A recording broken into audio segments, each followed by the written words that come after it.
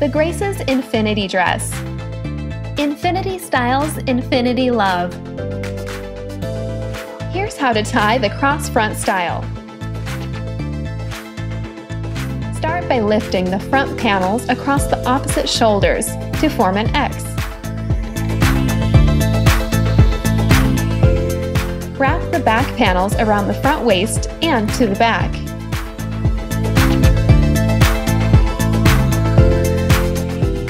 Secure it with a knot in the back.